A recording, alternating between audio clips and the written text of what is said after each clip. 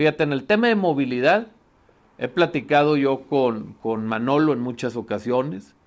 y, y tengo 100% el apoyo y el respaldo del gobernador para entrarle de una vez por todas a poder ofrecer un servicio de transporte público digno. Como te decía hace rato, que sea una opción de movilidad para el saltillense volver a tener un transporte público. Y en el reordenamiento vial,